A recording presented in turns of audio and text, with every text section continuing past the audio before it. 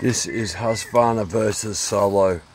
This is a Husqvarna um, 372 or two, I think yeah, 272. Yeah, 372 um, versus Solo 670. Look at the transfer chambers, the size difference. Massive difference. That's why the Solo's got a lot more power, in my opinion. The intake on the um, Husqvarna is a lot bigger. It's a lot wider. The exhaust is small on the Solo. Look at that.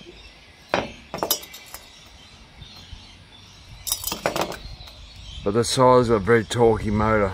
I think it's to do the transfer chambers. It's got bigger bolts holding the thing down. But very interesting, they're both same size motors basically, 72Cs. So I've got a new piston coming for this, the dome piston. So I'll get this running again. It's, it's been poured, but um, I'll make this thing really run now.